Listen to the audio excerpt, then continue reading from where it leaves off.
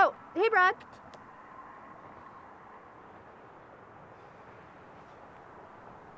How's it going, Alec?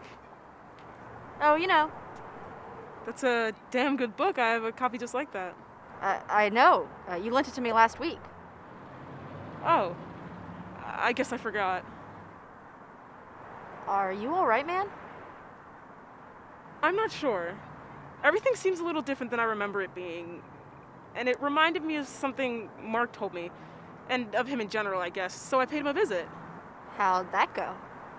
He's gone, and there's someone else in his apartment, and it seems like they've been there for a while. And there's not even a trace of the guy. I mean, you know him. Where could he be? What's his name again? It's Mark. Mark Davies. I maybe could place the face, but I can't seem to place the name. We went to high school together. He introduced the two of us. Didn't we meet in class? And besides the book, I don't really know you all that well. I don't think I'm supposed to be here. I'm gonna. Okay, uh, I'll get the book back to you later.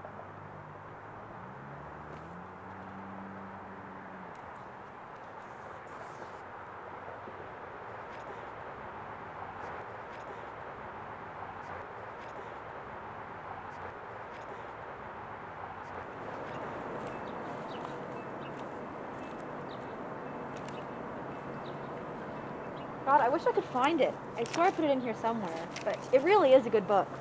Yeah, I know. That's why I gave you my copy of it. What do you mean? I got it from Bradleigh, Who's Bradleigh? the girl I borrowed it from. I gave it to you yesterday. That that's impossible. I already finished it. I, I got it last week. I remember it because I, I had a conversation with Bradleigh about it just the other day. Bradleigh who? You know, Bradleigh from class. We don't have any classes together this semester. And I might know her if I saw her, but the name doesn't ring a bell.